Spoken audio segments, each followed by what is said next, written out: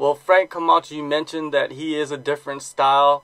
What do you think of his style? You know, the fighting style that he brings to the octagon. He is actually a very exciting fighting style, and he's somebody that um, that really, you know, there's almost no chance of not having an exciting fight when he's involved. You know, like he bring brings it. So actually, I I liked the the the fact that I would fight him because I knew that it, it will be a barn burner. You know, it, it, will be it will be good.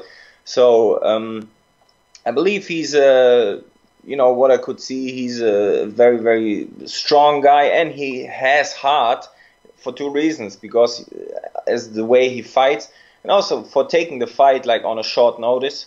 So I mean, it's what people always say. It's going to be an exciting fight, but I'm but I'm really sure of that. Yes. Definitely. Well, Nick Hein, you know, you probably looked him up a little bit. You probably watched a couple of his fights. How do you feel about this matchup?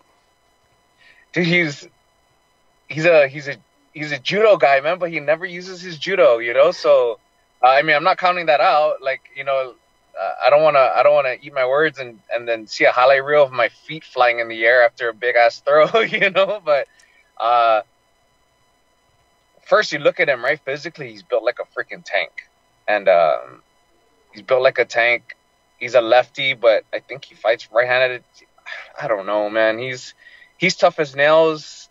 You know, he man, he's a fighter, bro, and and, and we're we're both kind of on the same boat. We're on losing streaks, and, and we're trying to get get a get a W and and you know get a W uh, on our next fight. So it's gonna be it's gonna be a good fight. You know, you know the funny, the crazy thing is, is that um, like I, you know, I'm I'm I'm a huge redditor, right? Like uh, I'm big on Reddit, and like uh, I saw someone posted the the fight on Reddit that you know that we're fighting, and and it was so funny because uh, you know they were saying like, oh yeah, Nick Hein this, oh Frank Camacho this, and and they're like, oh man, Frank Frank would definitely bring the fight out of him, and no matter what, it's gonna be an exciting fight because Frank's gonna come out. I'm like, oh man, I don't want people to think that, you know, like like uh I just need to be a little bit more tactical with him and tactical with my fights and be more strategic. But then again, man, you just never know, dude.